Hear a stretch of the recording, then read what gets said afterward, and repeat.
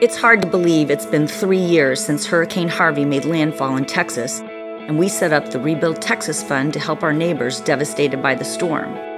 I've been overwhelmed by the strength and resilience of the families and people impacted by the hurricane and by the organizations that so generously stepped up to support their recovery. It has been a tremendous effort by so many inspiring people, and this has truly demonstrated the power of community. I want to thank each and every volunteer and donor who played a role in making the rebuilding effort possible. Your contribution has made a difference to families who lost homes, schools, jobs, and simple day to day normalcy. We will always remember August 25, 2017, when Hurricane Harvey made landfall in Texas. The storm caused over 125 billion in damage, impacting more than 8 million people in our state. This was personal to us. Michael grew up in Houston. We watched as his old neighborhood became completely flooded. We knew we had to do something as families up and down the coastline were hurting from the impact of the storm.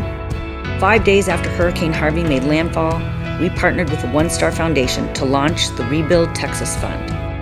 With support from 33,000 generous donors, we raised over $100 million to put into Gulf Coast communities. People from all over the country made their way to Texas, eagerly volunteering their time to help in every way they could.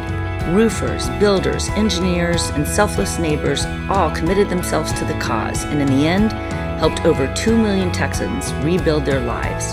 I met one of those Texans, Rhea Creekmore, and I'll never forget her story. When Hurricane Harvey hit, Rhea gathered her kids and pulled her family onto their roof where they waited to be rescued by boat. In one short night, everything they owned had been swept away. When the water subsided, they moved into a FEMA trailer on their lawn where they were met by dozens of volunteers who showed up every day until their home had been rebuilt. Her new floors were being installed the day I visited her.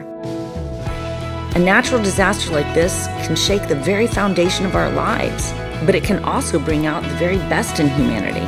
The progress that's been made over the past three years is a shining example of all that we can accomplish when we come alongside one another and work together.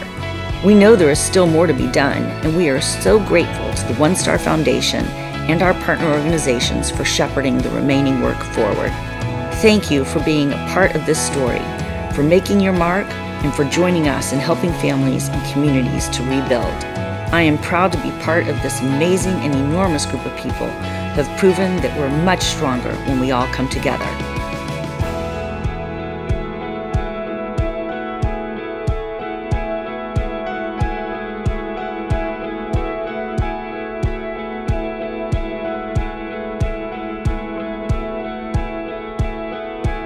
We are and always will be Texas Strong.